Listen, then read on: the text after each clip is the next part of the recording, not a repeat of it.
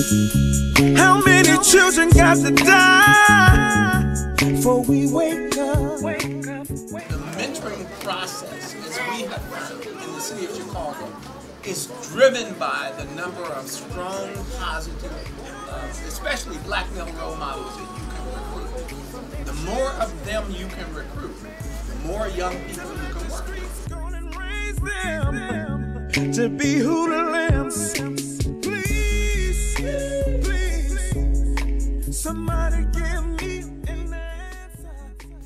You have to get involved in some organization.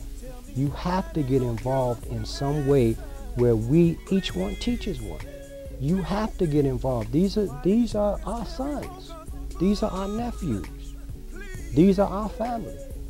A mentor is someone who like guide you and provide you and stuff and inspires you like like tell you what to do and don't do. Not just students, you all a scholar. But it needs to show on that report card. It needs to show when you come here on Tuesday. It needs to show in your home, in your community. feel we believe that uh, relationship building is, is key. So then we have really intensified this mentorship program.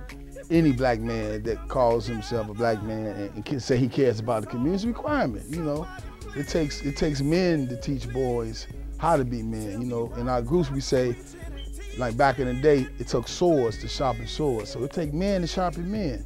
Uh, men in my life before I came to Urban League was basically my uncle. Sometimes I uh, go to speak to my granddad and maybe my father if, uh, if he's not in jail.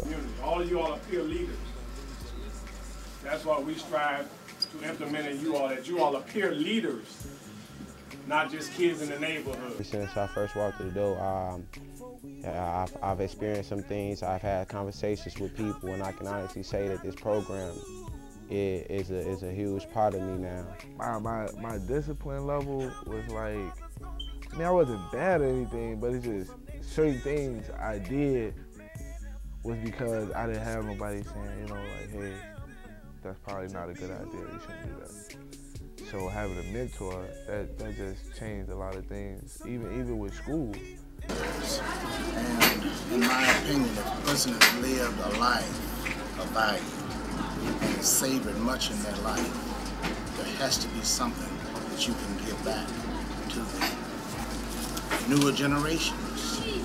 It's biblically that one, after a person reaches a certain age, that he must give back to the next generation, and that generation must give back to that next generation. I say that a good mentor is someone that I look up to and um, who I believe has some, done something in life and can teach me something, new opportunities.